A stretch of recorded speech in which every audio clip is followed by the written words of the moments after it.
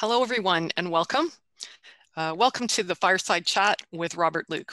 My name is Laurie Harrison, and I'm the Director of Online Learning Strategies at the University of Toronto.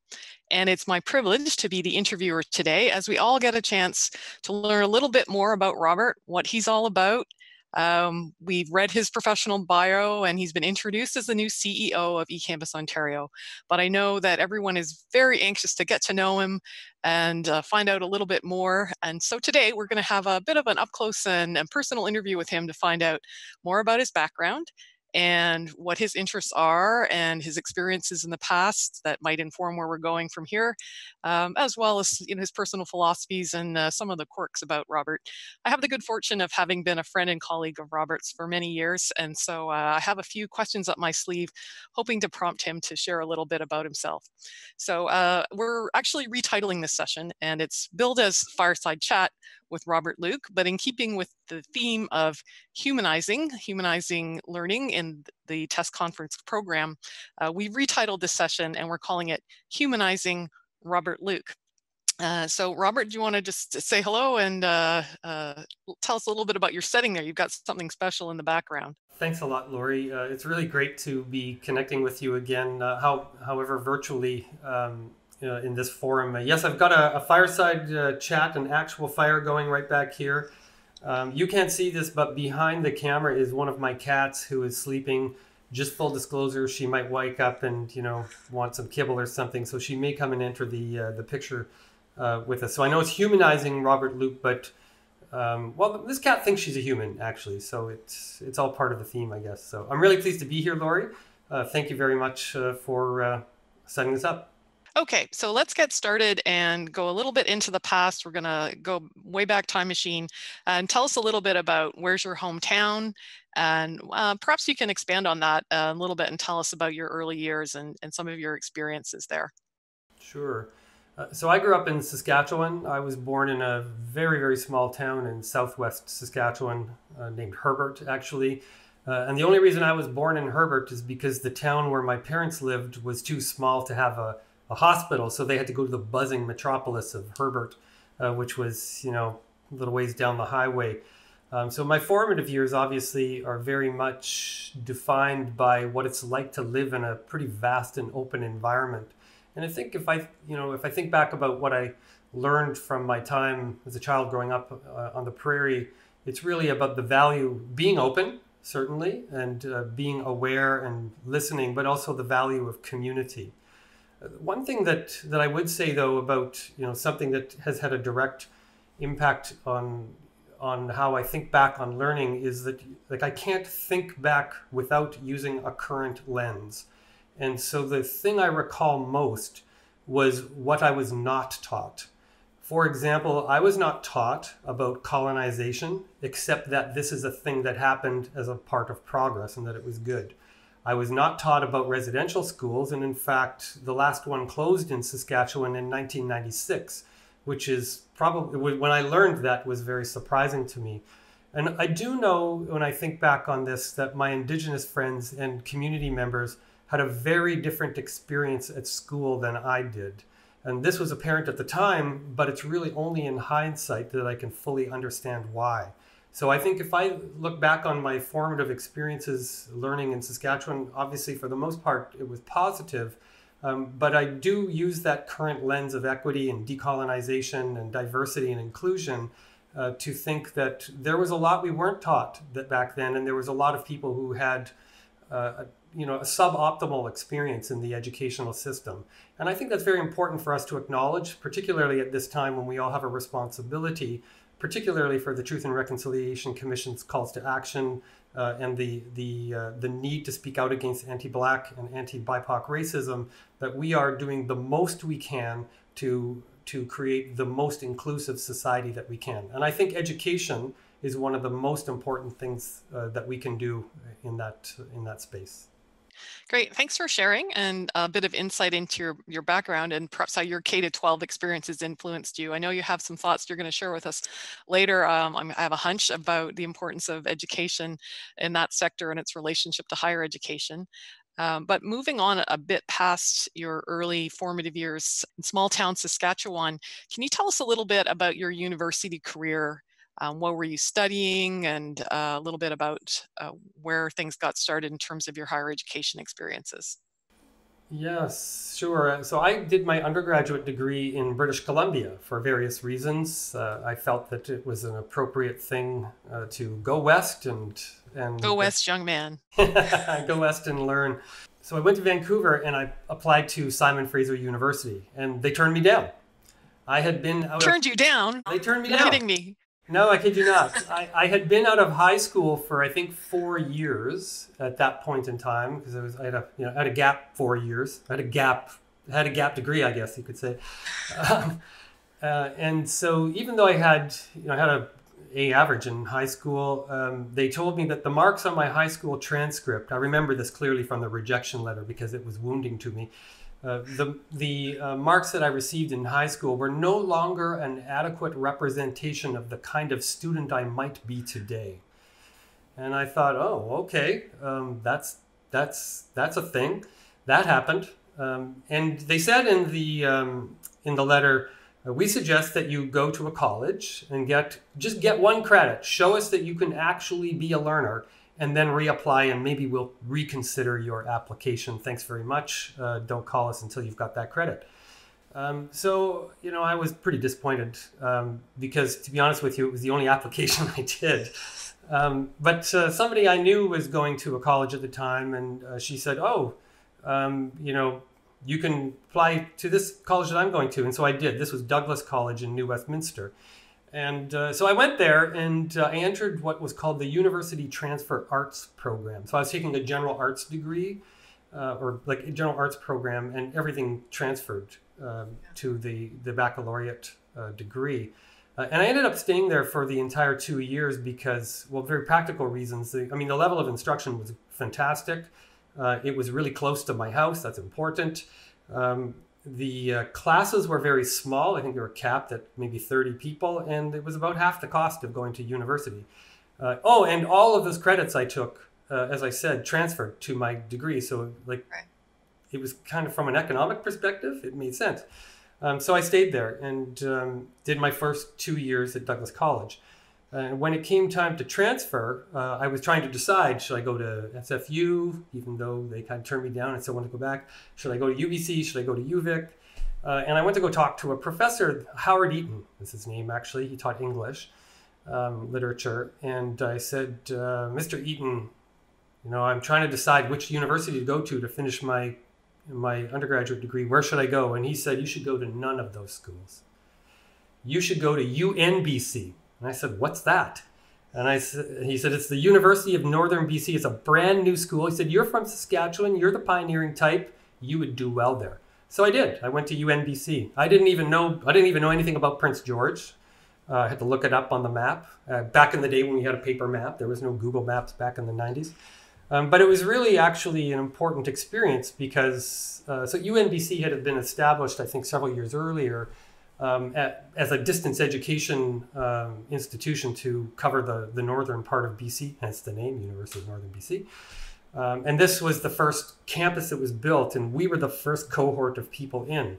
So there were about 300 people in the entire university uh, that were studying. In fact, I like to joke, I think I was graduate 13 of that university. Uh, because, was that your student number? Number 13? Pretty much, yeah, because you know there's six, there's 12 people in front of me in line uh, from that first cohort out. And then, so I went in in third year, and by the time fourth year came around, like there suddenly were 700 people on campus, and we were all like, "Oh my God, who's all these people? It's so busy here all of a sudden." But it was a very important experience because um, it was very much um, so they had a distance education mandate, and this was about when did I go there? 94 to 96, and this thing called the internet was just you know becoming a thing. And so uh, I got uh, a job doing uh, development of uh, e-learning resources for the English department, and in fact, I did two uh, independent studies to develop hypertext annotations of novels as study aids that were distributed over the internet so we've got a picture of you. You're out west, you're having adventures, you're trying new things, you're making your way. Um, so then what happened next? How did you, uh, I think you might have had another stop along the way back in a, uh, coming a little farther east, but where do we trace your path from there? Um, well, I went to grad school at Queen's, so I moved to Ontario, and uh, that, so that's what brought me first to Ontario uh, to do a master's degree. Uh, but I stayed in Ontario because at Queen's I met and married my spouse, who is from Toronto, and uh, that is really why I uh, why I'm here uh, today. We did, however, have a two-year stint at the University of Lethbridge in southern Alberta, um, which was you know quite a lot of fun. Really nice natural environment. Really, really interesting and uh, supportive academic community. Uh, but again, uh, you know, the focus there, I was running something called the Curriculum Redevelopment Center. Um, I think I was like the person who was staffing it, like it was kind of just me. Uh, and uh, the you know the working hypothesis was that this thing called the internet might be useful for in, for education, so maybe we should figure out how to do it. And uh, so that's what I did for a couple of years, and then I moved back to Toronto and you hired me, which was fantastic. Right. So now we're going to go down a, a different uh, different path here and get a little closer to home. So we're following your journey. You came back to Ontario, um, and so why what brought you back here again? Can you tell us about your early days and your experiences? I know you were at OISE. Uh, yeah. Tell us a bit about what was happening then. Well, I um, I came back to U of T to uh, do a PhD because I wanted to continue to um, well to, to study and to teach. Um, and uh, so that's obviously where we met as well. Um, yeah. You, as I just yeah. mentioned, hired me at the Adaptive yeah. Technology Resource Center. So, for, for, the bit more of the background for folks listening is that um, Robert and I shared a common experience. We both worked at what was then called the Adaptive Technology Resource Center under the leadership of Jutta Treviranus. Um, and, and in fact, it's it's a true story. I, I hired um, Robert to work for us at the Adaptive Technology Resource Center. And I always say that was one of my most brilliant hires, if not my most brilliant. So he came and worked with us. Um, and I just want to follow that thread for a moment. Robert, um, we know that technology has the potential to facilitate accessibility and inclusivity in education. Um, can you make some connections for us uh, between your work in this sphere, which, by the way, was carried on by Jutta sh- she subsequently went to OCADU, where Robert also was, um, to uh, lead the um, uh, Inclusive Design Resource Center. Can you um, can you explore that a little bit and perhaps even connect it to the theme of the conference for us? It's a great question, Laurie, and I would say from you, uh, I learned the value certainly of listening and inclusion. And uh, your leadership, I think, of that of that area was really instrumental in providing me with, uh, you know, a really uh, good and strong experience about what it's like to work within a large institutional context, uh, balancing multiple interests while uh, you know trying to follow through on the on the goals that were set for us. Jutta, of course. Um, is very very well known in the uh, in the universal design space. And so working under her direction was really instrumental because i was studying uh, a mix between you know uh, education and information science. How do we design useful and usable information systems that will promote access and accessibility uh, for you know for people more generally uh, looking specifically at education healthcare and governance or government uh, engagement. This is in the early 2000s. Um, but I think you know it does connect quite well with our conference theme of humanizing learning. Uh, Jutta, for example, talks a lot uh, about designing from the margins so that we we design for the complete span of human experience and capability such that when we design any system any norm any technologies uh, they are inclusive and so her point about designing from the margins is, you know, you, you figure out what the span of capabilities are and you make sure you cover all of those in any design rather than just saying, well, we're designing for this one user group over here or this one user group over here. Uh, and so for me, I think uh, that's very instructive to, to our conference theme because without humans, you know we don't have technology. We have technology to mediate this and this uh, discussion but it is the humans in the equation that are most important. And if those technologies are not sensitive if they're not accessible if they are not useful and usable then this conversation can't happen right? So that transmission layer is very important but you and I are having a discussion that is more transformational and that's a very important way to I think articulate technology is really just a mechanism. It's the transmission layer that we have. That you know, my goal always is to connect with other people. Right now, this is the best thing we've got. Very good. And it's pretty good right now. I'm enjoying chatting with you. So yeah. it's working for us. Um, so, Robert, I want to move on to uh, another topic. Um, I'm going to take a little bit of a different tangent here. So, the the two of us, we we share the pride of both having received our PhDs from OISE, although I was 10 or 15 years behind you. Uh, but those of us who know you well really admire your sharp intellect. And I was wondering if you could share for us what's the most important academic work that you've read recently um, that has had an impact on your thinking?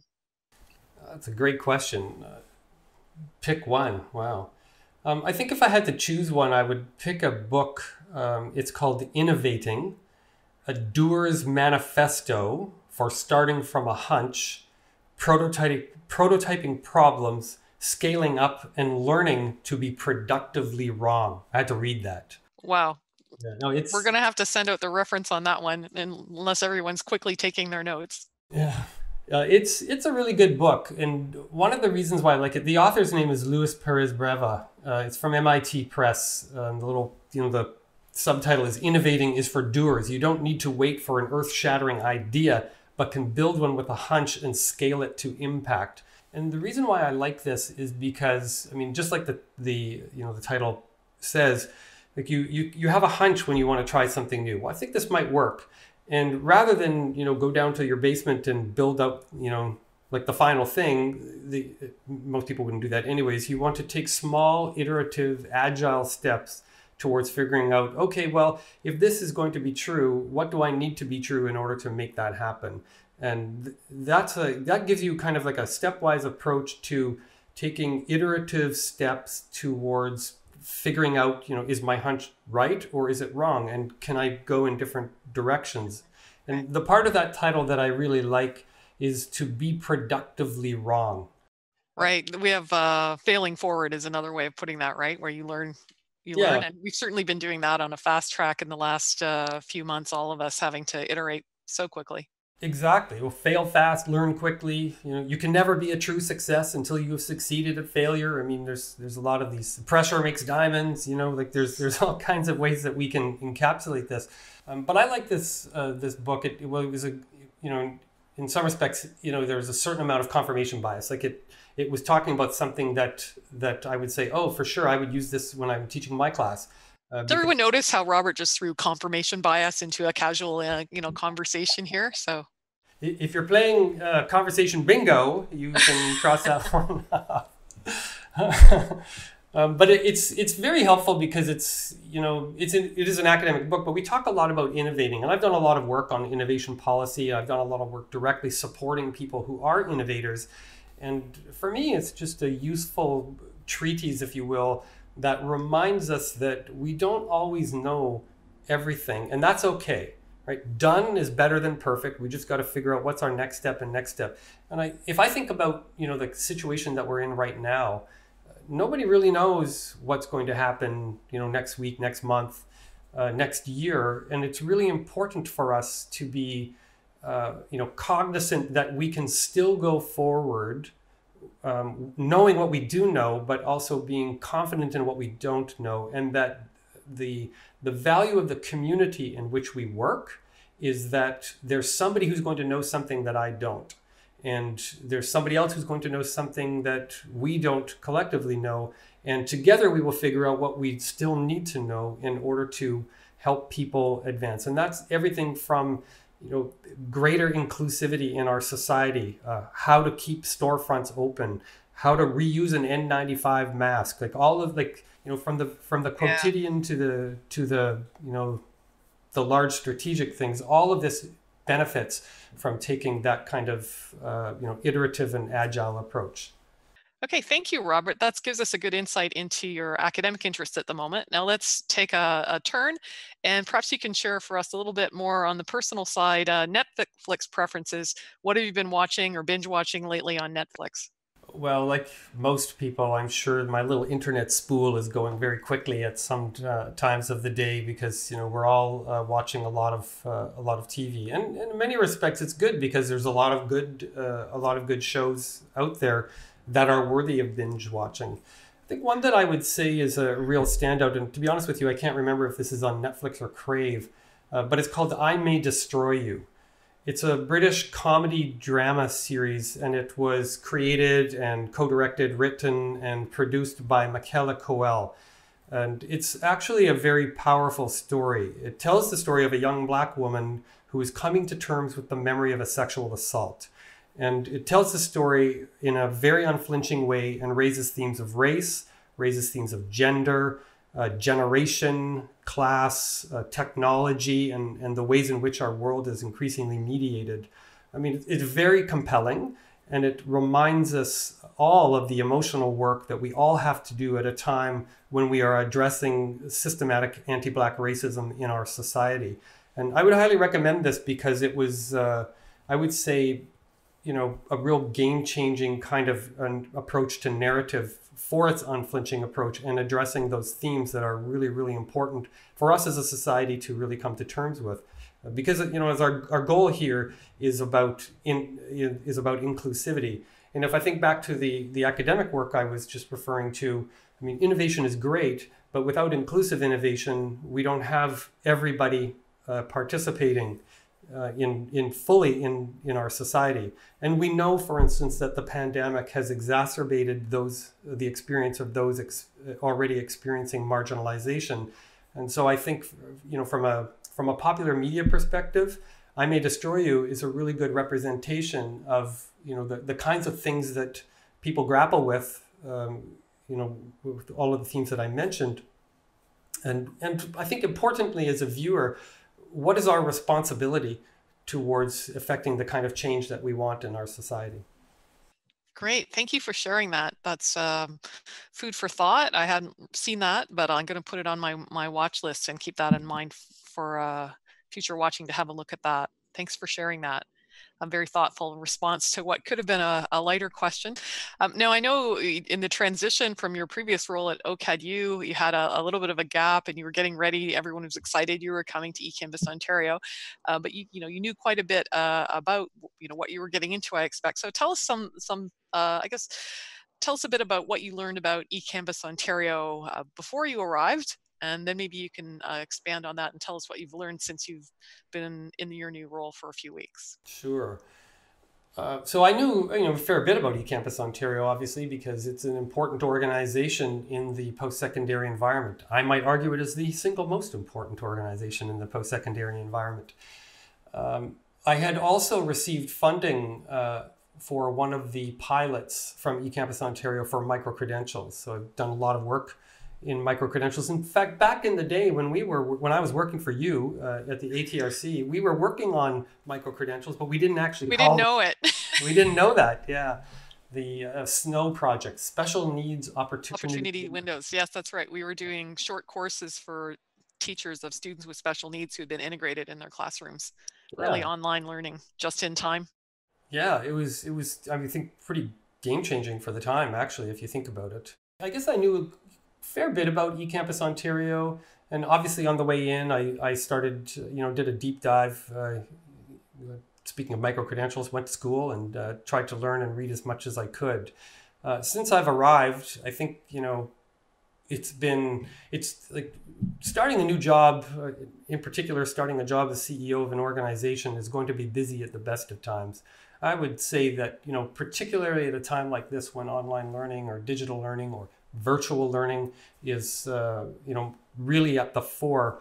Uh, the job has been perhaps busier than more than than it might have been otherwise. I, I think it is rather like drinking from the fire hose while managing a denial of service attack. Yes, I think that uh, a lot of us are having those experiences of everything's on a faster timeline. So where you might have been given six months grace period to learn a new job and get acclimatized, you probably had six weeks or maybe six days. I'm not sure how fast that came at you. About six minutes, maybe. In my first week, I had a board meeting and an AGM, but it was really good because it was a good opportunity to listen first and foremost to, you know, what does the, my board want to have? What do our members want to have in the environment? Certainly, uh, meeting with uh, uh, the uh, Ministry of Colleges and Universities and the Minister of Colleges and Universities and finding out, well, what is it that, that they are thinking about that is needed? And so, really, I mean, I'm in listening mode, trying to f- really figure out what what I can do to support the community. And I would say that one thing I have really learned about the eCampus Ontario team is that they are a dedicated and committed group of professionals who are doing just an amazing piece of work, a, a bunch of pieces of work really to support the sector at, a, at an extremely busy and fraught time. They successfully managed that pandemic pivot to help support in ways that we could uh, all of our members across the province. And now our goal is to say, okay, what's the future of virtual learning look like? And how can we really provide the kind of uh, structures, supports uh, across the, you know, the, the various domains that we, uh, that we operate in? So I, the biggest thing I've learned about eCampus Ontario is how good the team is. Uh, they've been really wonderful to get to know, uh, and they certainly have been very welcoming and patient with me as I ask an awful lot of questions about things that may be painfully obvious to them, but not to me. And I'm reminded of something Marshall McLuhan has said, which is I don't know who discovered water, but it wasn't a fish. And this right. is an important moment when you're not fish coming into the fish bowl. Right, right. So you'll you'll never not be a fish again. I'll never not be a fish again. Exactly. Now I'm a fish. I'm swimming. I'm just going to pull on another thread out of the conversation that we're having. You mentioned earlier that you thought that eCampus Ontario was the most important, perhaps, institution. I'm going to say, and I'm going to say in the province, maybe broader, but in the province. And I wondered if you could just expand on that. What do you see as being eCampus's unique role in the way it's situated in our, our current higher education ecosystem? I think our, our unique role, first of all, I would say um, there are obviously there are many organizations that do uh, uh, similar kinds of things to us uh, that are as important as us. Contact North, ONCAT, uh, for instance, to name two. Um, everybody is rowing in the same direction, and we are one part of that uh, rowing line. It's not my sport; I don't really know. Um, we're we're just one part of the team that is, you know, helping to to engage and be engaged and help move people forward. One of the reasons why I think we're we're particularly important is because in many respects we're like the Switzerland of the post-secondary environment in this province. Like we're we don't have the money. We don't. It's not like we're wealthy like Switzerland, but we we're that neutral, honest broker that is sitting at the center of a bunch of wheels, much like a clutch that is helping to engage these. And I, if right. we think about what kind of future of education we want, which to my mind is one that is, you know, certainly supporting uh, the development of skills and competencies uh, across the life cycle of everybody's lifetime. Uh, certainly doing that in ways that is promoting engaged and thoughtful uh, citizenship and inclusion, uh, and doing that in ways that lets people seamlessly transfer from say high school to college to university to work back to university back to work back to college or all of those at the same time uh, the world that we live in now is super complex, obviously, and uh, finding ways to navigate that is, you know, going to be a challenge for us. One of the reasons why we, I think, are important there is because we play that honest broker role, kind of not in necessarily in the center, but uh, functioning in a way to incentivize the kind of innovation that needs to happen in the uh, in the sector uh, to support these kind of pilots. Micro credentials is a good example. We provide a, a, framework for how they can be operationalized. We provide funding to sort out little um, you know pilots here there while we help you know the the sector and the province figure out what's the policy apparatus that is going right. to make this yes happen. i think of ecampus ontario as, as a big set of ears listening to the community and also channeling that and and acting uh, on our behalf in, in terms of feeding it up to the ministry and so on absolutely Great. Yeah, no, I think that's really important. And I mean, certainly, as I said, I'm in listening mode and I'm trying to, it's ironic because I'm doing most of the talking here, but I, I am in listening mode. Um, and trying to you know really get a handle on what it is that that our constituents need. And really important here i think is is looking at this from an interest perspective rather than positional perspective right? You could take the position of the government. You could take the position of the public. You could take the position of the colleges the position of the universities. And then you could even articulate positions within each of those constituents. But when we start to think about what people's interests are then we can transcend the positions and get to more of a shared understanding. And, and I think in that way, and that requires us to listen. It requires us to say, okay, well, you know, I know what you what you want to have happen, but why don't you tell me why you want that to happen? Because maybe the way we think that that can happen is the same as how this other constituent over here would like to have that happen. Or maybe it's not the same way, but the outcome is the same. And listening is the best way to get there. So, Robert, as you look into the future, Ontario is a very big ship, and we're all curious about where we're all headed. But um, what's your forecast? If you had to highlight a few things that you're seeing on the horizon, what would they be? Uh, well, we've already talked about micro credentials, and I think that those will really come to the fore. I think that uh, micro credentials are important ways that we can help to, you know, in the rebuild and recovery effort, and to, uh, um, well, rebuild and, and work towards resilience. Uh, certainly, I think that there are a lot of things that we can do in the sector to incentivize things like credit transfer, uh, greater cooperation on shared services, um, and that kind of thing that are looking more of the, of the sector as a sector. Uh, that may take us a while to get to, um, but I think that, that it's an important goal to articulate because we're all trying to do the same thing, which is to educate our citizens and uh, finding ways to do that that um, is more outside in versus inside out, like looks at the learner and how they want to engage in the system versus how we have always existed and how we think the learner should engage. I think we have an important moment to try and, and uh, really think through what that might mean right? It's time for a shift in our thinking, that's for sure. So on that line, um, any further thoughts with the recent pivot is the, the word of the day these, these days. We've all had a big pivot, um, a lot of challenges, but uh, thoughts on how we can take what's been very challenging and perhaps draw some, some opportunities out of that. It's a good question, Laurie. I think you know we've all heard that every challenge is a good opportunity, and it's really incumbent upon us to pull together and figure out what are the opportunities that we can we can use in this situation to reimagine the kind of systems that we have and uh, the kind of systems that we want to build. Education doesn't necessarily innovate its business models frequently um, or with alacrity. Uh, the fact that we have all been put in this same situation at the same time gives us an unprecedented opportunity to really examine what that means. And I'll go back to something that I uh, talked about at the at the start, and that's about inclusion and how we help support those experiencing marginalization.